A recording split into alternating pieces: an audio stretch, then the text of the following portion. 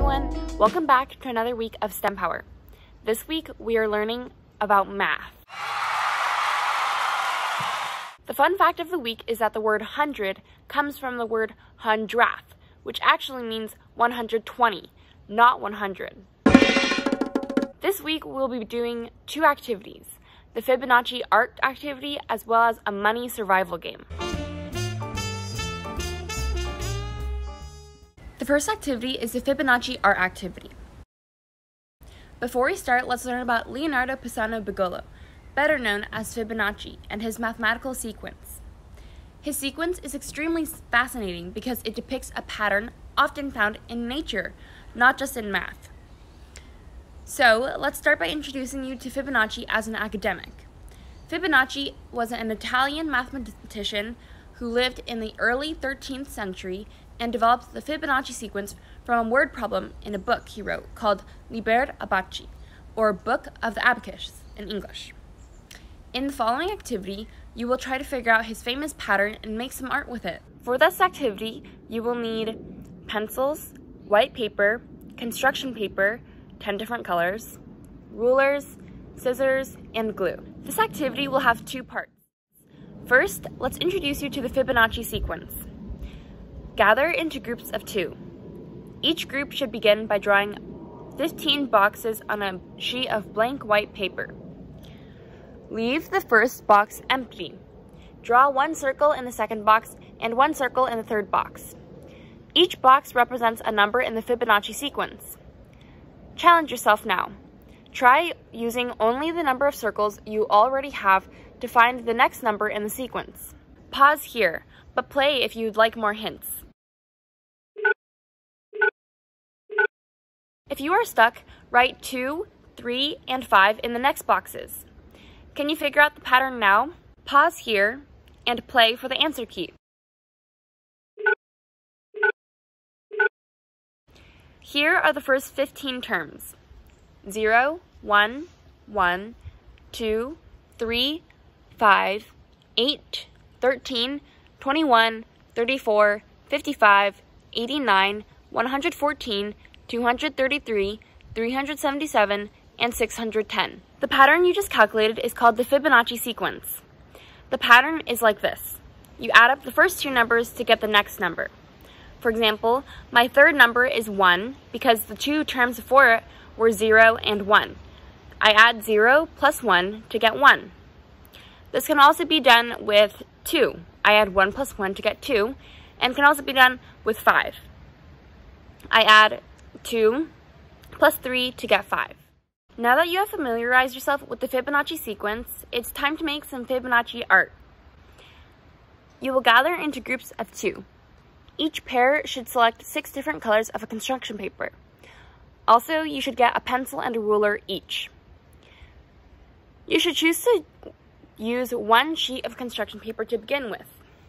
Use the ruler to draw a circle with a radius of one centimeter.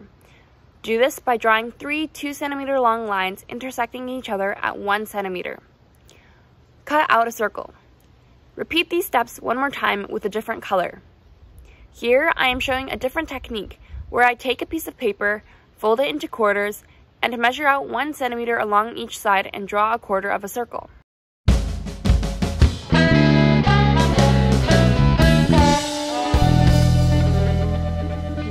We are going to make more circles, but these ones will be in different sizes. You will have one with a radius of 2 centimeters, one with a radius of 3 centimeters, one with a radius of 5 centimeters, one with a radius of 8 centimeters, and all of these should be different colors. In the end, you should have six circles of different colors. Feel free to share the construction paper with other students, and try seeing how many of you can get circles out of one piece of paper.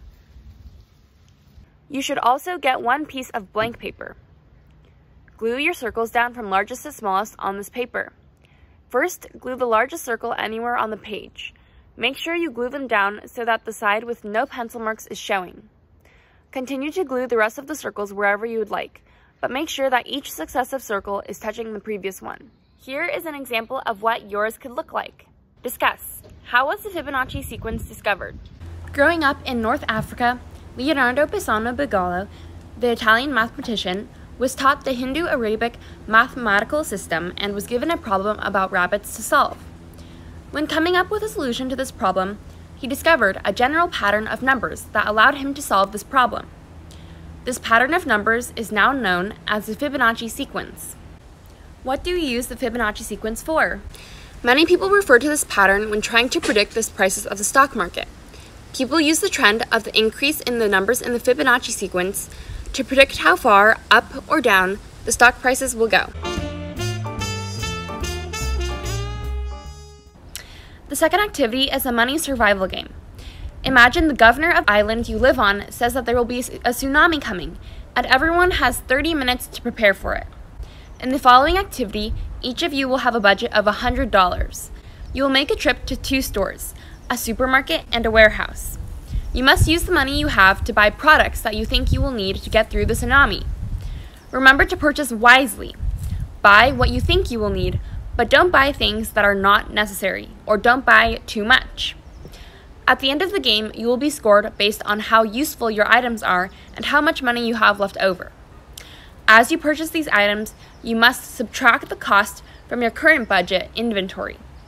Let's continue with the instructions and happy shopping! For this activity, you will need paper, pencils, and three printed handouts.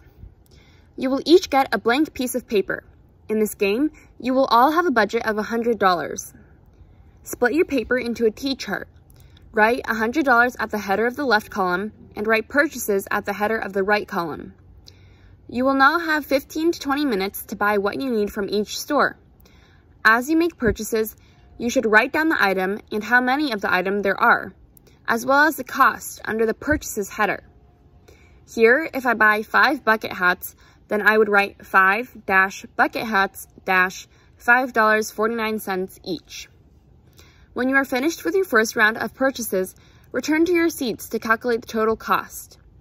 Do this by first adding up the total cost of each item and then subtracting that amount from the given budget, $100. Check your work. If you still have money left over, Go around the room again for a second round of purchases. If you want to keep the remainder of your money and do not wish to purchase more items, that's okay too. Remember, your final score will be based on two factors, how useful your purchases are in the tsunami simulation and how much money you have spent or how much money you have remaining. When all of you are finished purchasing and calculating the total cost and how much money you have remaining, Use the scoring guide to add up your total number of points. The person with the most points is the winner. Discuss. What are some tips on how to save money? In our society, money is pretty valuable. Three ways you can save up money are 1. Keep track of how much money you have and what you spend most on by writing it down. Don't spend more than what you have. 2. Put some money into a piggy bank with no hole at the bottom. You won't be able to access this money unless you break the piggy bank. 3. Only buy what you need and not what you want. What are some ways I can earn money? There are many ways to earn money.